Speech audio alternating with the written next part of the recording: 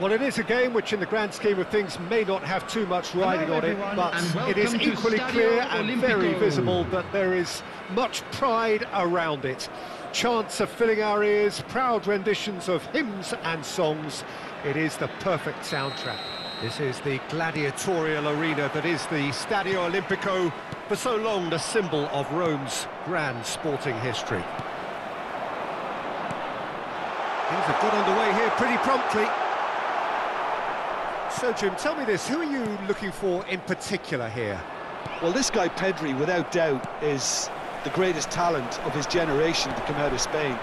I mean, he has all the traits of some of the great legends that have been there before him. The ability to handle the ball. Real chance! What a wonderful goal! Well, once more, it's him, and we can't be surprised because his instinct for doing this is incredible. Well, there's always a chance of being caught like that when you surrender the football.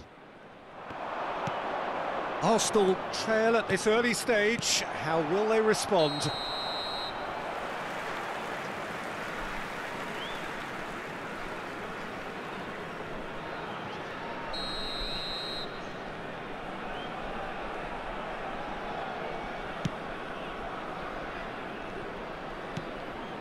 Luis Alberto. Ben might just make this. Now it's Luis Alberto. No, that's been intercepted.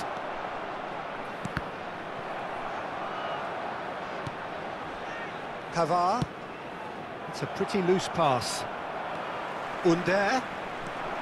And they can counter here. Oh, what a... And the finish! And he hits the net! Two! And we've barely begun here. Just so calm under pressure, and he managed to fashion a fine finish. Well, he had to deal with an awful lot of unwanted attention, but his tenacity won the day. So that's two now without reply. Well, that's really winded the opposition. You can see their manager screaming on the touchline, telling his team to calm down. But they'll need to do that pretty quickly. It's composure from here. Decent hit! And it's there! Hot knife through butter. They have done it again. The invitation was clear and it was accepted with the utmost glee. Yeah, and all engineered, Peter, by some...